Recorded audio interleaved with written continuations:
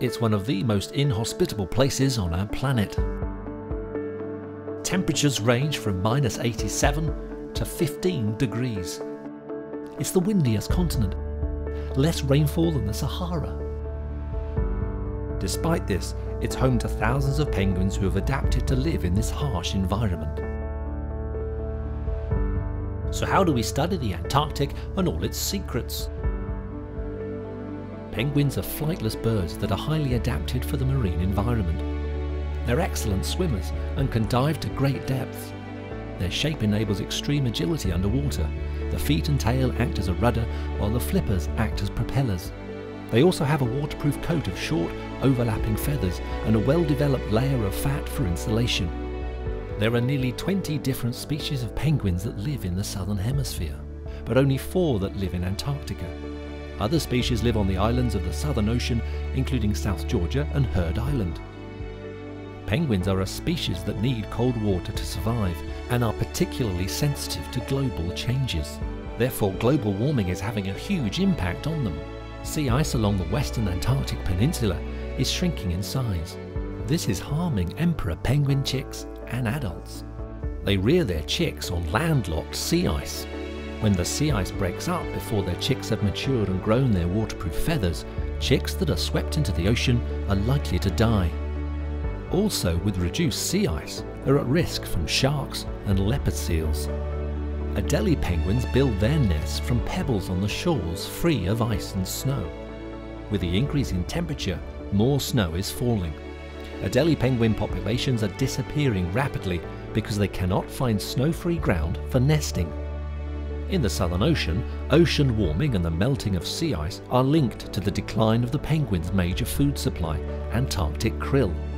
Krill graze on algae that grow on the bottom of the sea ice. The survival of krill is key to the survival of Antarctic penguins. The loss of ice leads to the loss of krill. This has led to the decline in certain species who feed on krill. The collection of data is critical in informing scientists as to the impact of climate change on our environment.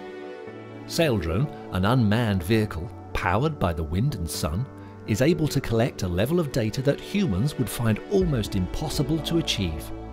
The innovative design is non-disruptive and completely silent because there is no engine on board. Saildrone takes measures in a number of important areas which give scientists the information they need in order to work out how our environment is changing.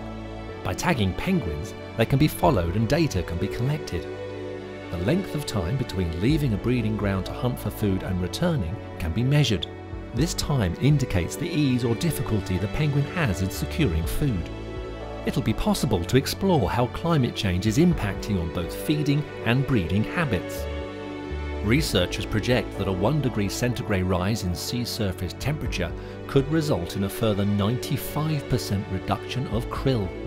By monitoring sea temperatures and measuring krill, the impact that the rising sea temperature is having on krill populations can be analysed.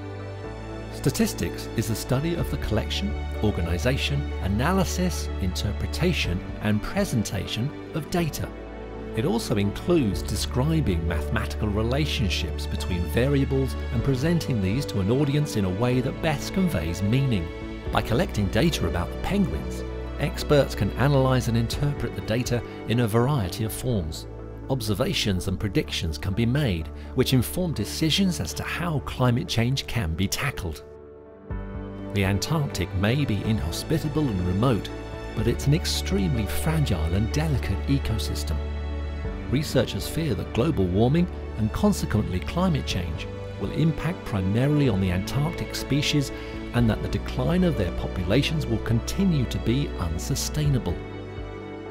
Collecting accurate, up-to-date data on the feeding patterns of penguins is a way of monitoring climate change and preserving this pristine ecosystem.